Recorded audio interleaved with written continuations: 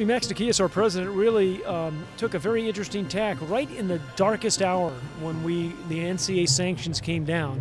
We could have hung our heads and just kind of waited for the sanctions to kind of run their course, but he really chose a different course, really to, to break ground on the John McKay Center and really show people that we were looking forward. This is really transformational for us in the athletic department. We really have been 30 years behind really the rest of the country in terms of athletic facilities.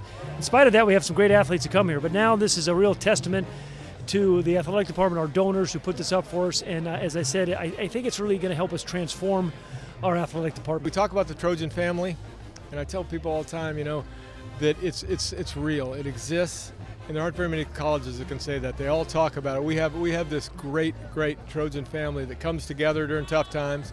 I think this building exemplifies that. I mean, you know, Max decided to go forward with this building in the darkest hour for us. You know, we were under NCAA sanctions and things looked uh, terrible at the time, and uh, uh, yet he said, let's go. I, I, think as good as the, the building in and of itself is, I think the content that we have in the video board showing the incredible athletes we have in all 21 sports and how cool they are and the interesting things they're doing both you know in the fields in the fields on the courts and outside in the classroom. I, I think that's that's really attractive to people resonates.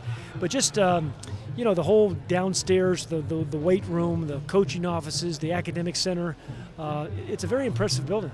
We built this building when everybody said we couldn't.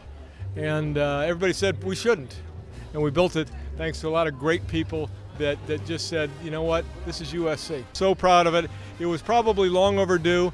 We won a lot of championships in without facilities. And you know what, the truth is facilities don't win championships, people do, but our, our student athletes deserve this. Uh, this takes us to a whole new level.